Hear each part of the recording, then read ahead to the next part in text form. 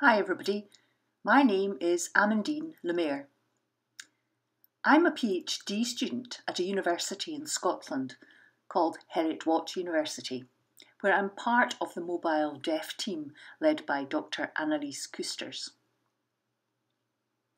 My presentation, well first of all I want to thank you for inviting me to come and present at this conference and my presentation will be about deaf refugees and their language. You can see on the slide there is a map of Kenya. And in the northwest of the country, there's a refugee camp called Kakuma.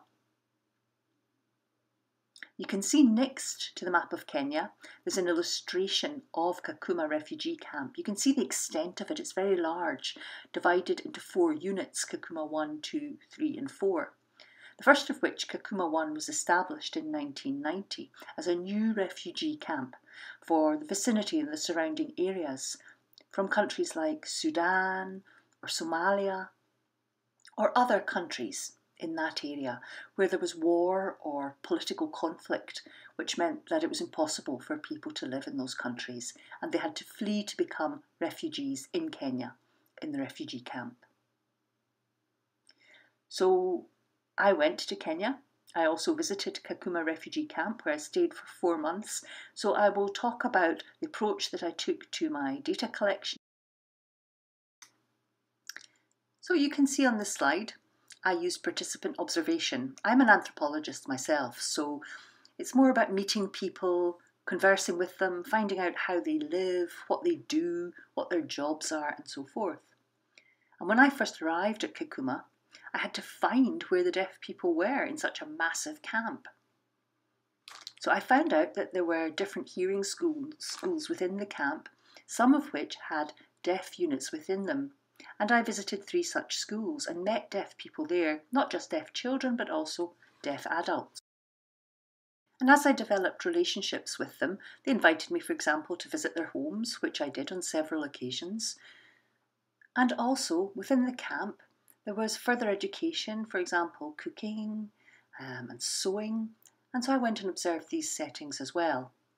And as our relationships built up, it got to the point where I was able to ask the participants for their consent to interview them as part of the research. And I selected seven participants with varied backgrounds in terms of gender, be they man or woman, different age, and also different countries of origin, either from Sudan or from Somalia.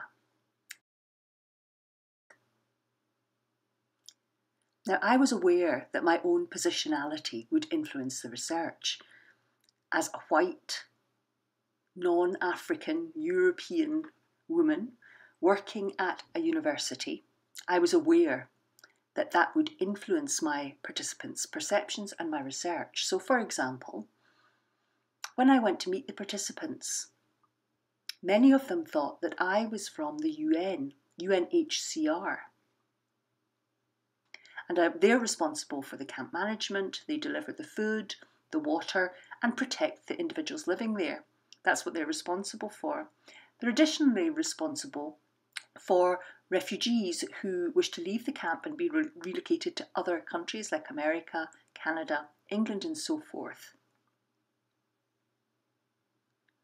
And these refugees have to register their interests on a list and eventually they may be picked by the UN to be relocated. Now, not all of them can be relocated, so often they are waiting for a long time before they actually get to go.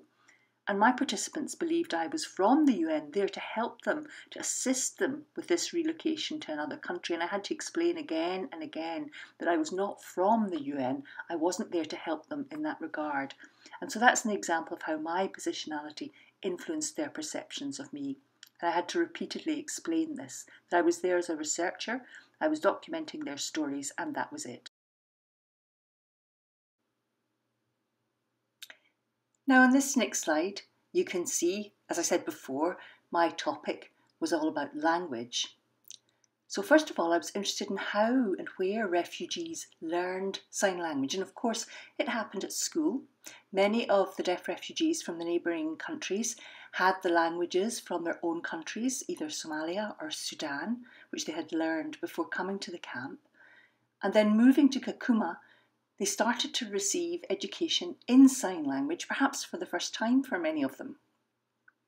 And also, once they had finished their primary education in the deaf units in the hearing schools, they, many of them went on to high school. Now, there was no high school in the refugee camp, so they would request, if they wanted to go to high school, to go to a Kenyan high school. And once approved, they would go to this Kenyan high school and be funded by the UN, and they would stay for four or five years receiving their education, and they would learn Kenyan Sign Language there. After the period of four or five years in the Kenyan high school, they would return to Kakuma refugee camp. So they had language learning from primary school, but also the influence of Kenyan Sign Language from their high school education.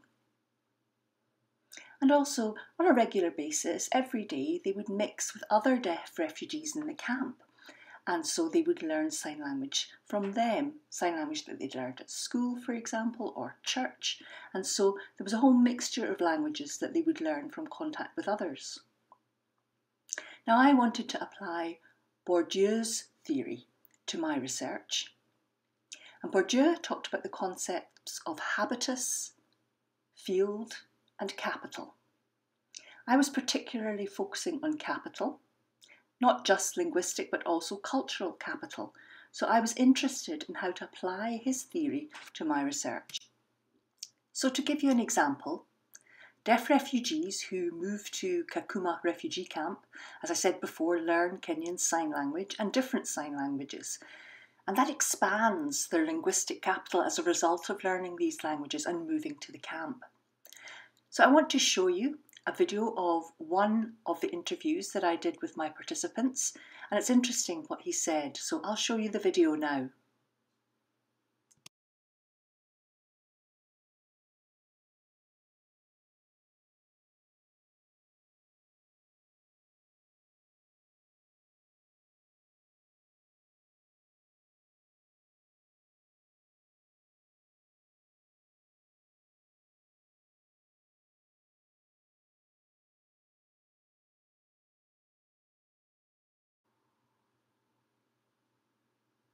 So you can see in the video this participant whose name is Adam. He's from the south of Sudan and he moved from Sudan as a result of war and became a refugee in Kakuma when he was a small child. And I asked him how he had learned sign language. How did he know how to sign? And he told me that a long time ago, when he had left Sudan and moved to Kakuma, he hadn't known any sign language. But at that time, an American teacher had come to the camp to teach American Sign Language, and that is how he'd learned it. Also, he had gone to high school in Kenya and learned Kenyan Sign Language. So you can see, previously he'd learned ASL and then later Kenyan Sign Language, so he has influences from both languages. Also, Refugees learn sign language from school, yes, but also they learn sign language from meeting other deaf refugees and interacting with them. I'll show you an example of this in the next video.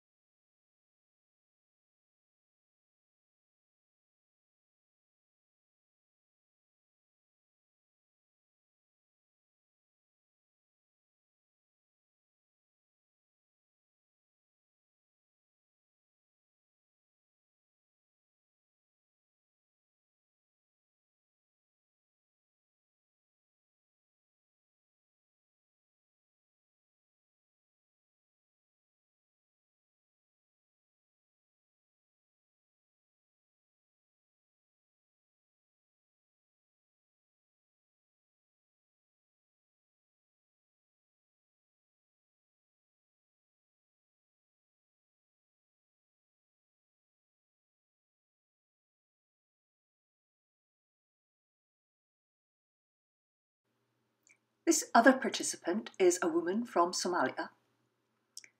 And previously, she had moved to a different refugee camp called Dadaab. That's also in Kenya. And it's also huge, same as Kakuma. This is its sign name, Dadaab.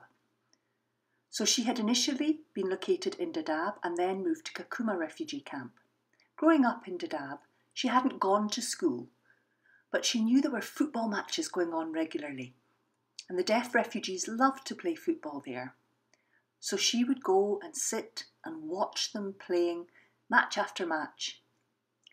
And also at the same time, she was observing the deaf players using sign language, and she learned sign language from watching them play football which means that refugees don't just acquire sign language from their school education, but also from their everyday social interactions as well.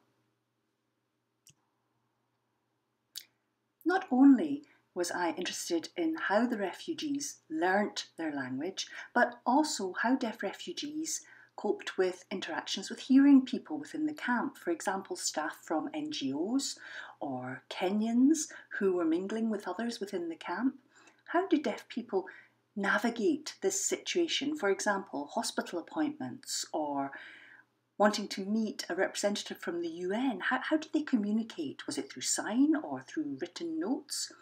And I observed some examples that I'll explain to you now. You can see on the slide, there's the logo of the United Nations.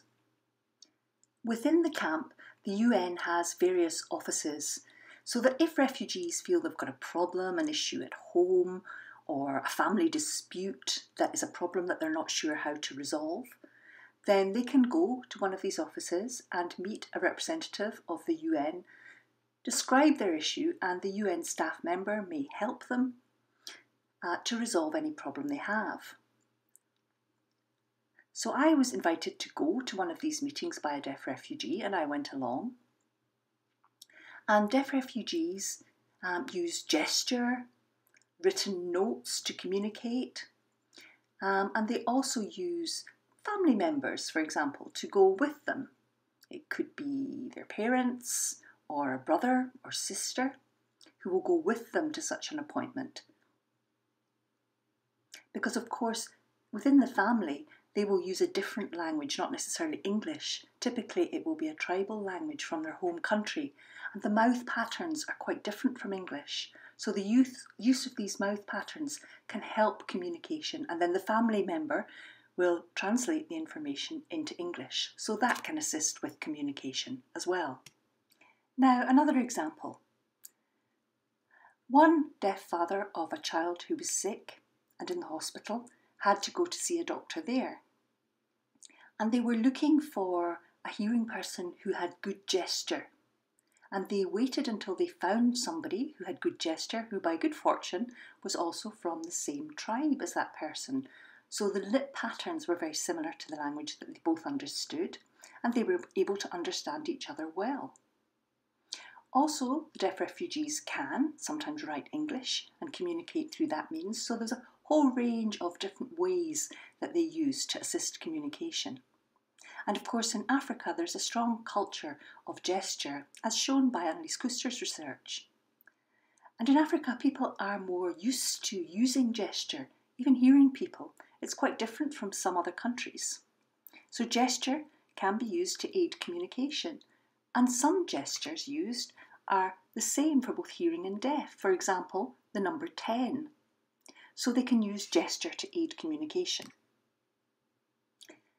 You can also see on this next slide that sometimes there are interpreters working. And these interpreters can come from Kenya, or perhaps um, they have been educated within the deaf unit and can sign, therefore, they can function as an interpreter. Now, of course, interpreting is a different culture from just communication. They must maintain impartial boundaries not be there to be biased towards helping the deaf person. Um, so there's a whole range of issues around interpreting in the camp.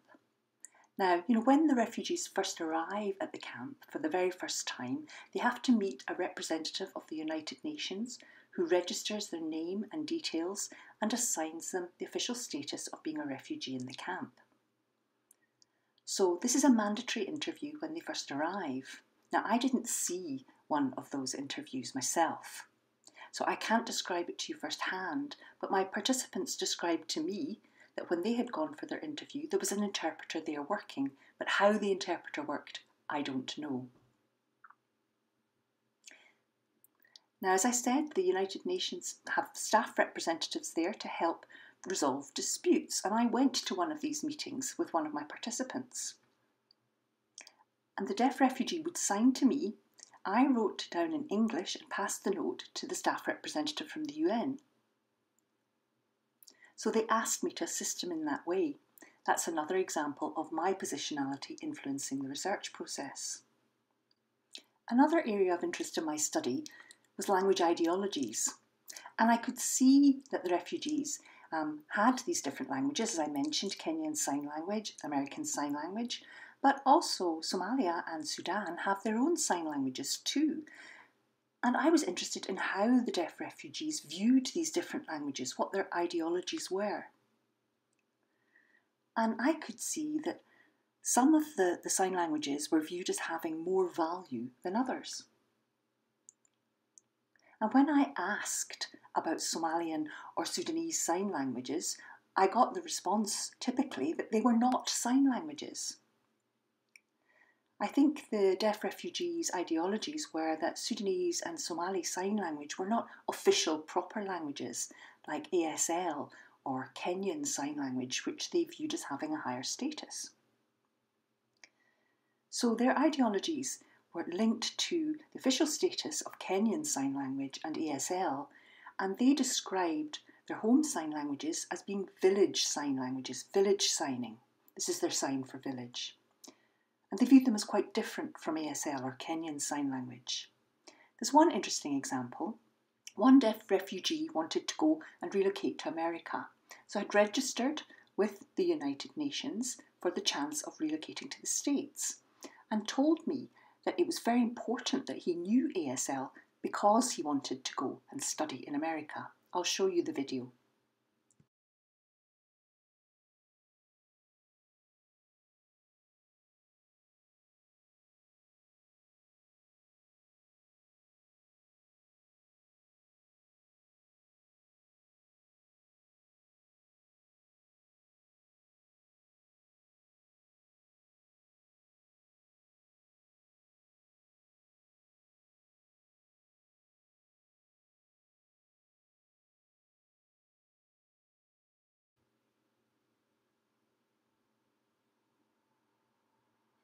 Now you can see in the video, that man is from the south of Sudan, and he was explaining to me how he wanted to learn ASL.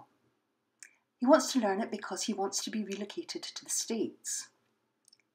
And he views ASL as a high status, important language that can possibly help him with that relocation process because he knows the language.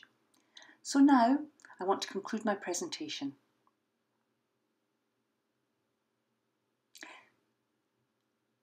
In terms of refugees' language use, you see that they can encounter barriers with communication with hearing people, but they have a range of strategies that they use to overcome these, such as gesture, writing notes, or using mouthings from their tribal languages.